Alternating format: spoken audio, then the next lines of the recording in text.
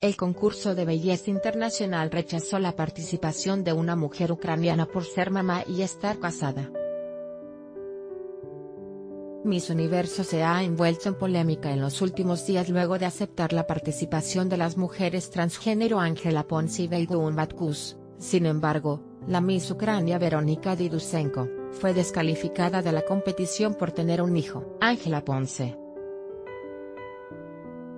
Imagen, Google Miss Ucrania ganó la competición en su país en el mes de septiembre, pero una semana después se conoció sobre su situación personal e hizo que la sacaran del concurso. Belgun Batkus. Imagen, Google según el diario El Espectador, Didusenko inició una campaña desde que fue descalificada que que no se discrimina a las mujeres que tienen hijos y que no sean solteras, pues el reglamento de Miss Universo fue realizado en 1951. Millones de mujeres solo pueden participar si no tienen hijos. En 2018 esto simplemente no es correcto. Esta discriminación por motivos de maternidad debe terminar, publicó la ucraniana en su cuenta de Instagram. Sigue leyendo. Video.